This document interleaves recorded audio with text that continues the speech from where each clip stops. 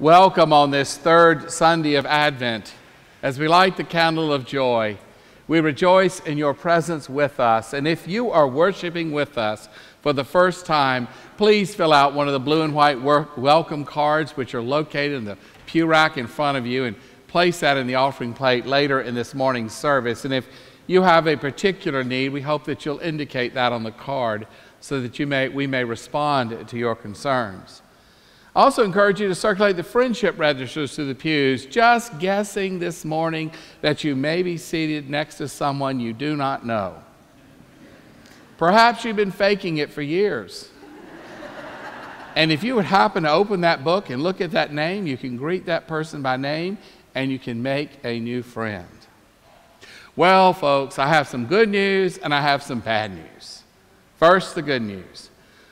Over 730 households have responded to our stewardship emphasis this fall as we seek to be generous and faithful followers of Jesus Christ, totaling nearly $3 million.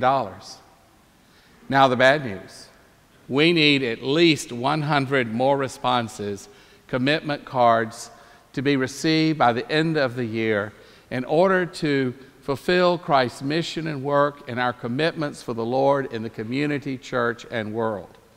So, if you have not yet completed your commitment card, I want to say it's important as a spiritual discipline, but it's also important to help our church officers plan carefully and be good stewards of your gifts. So, I would love to come back in January and say, I have good news, and I have good news. So please give prayerful thought to your commitment to Christ for the coming year through the work of the church.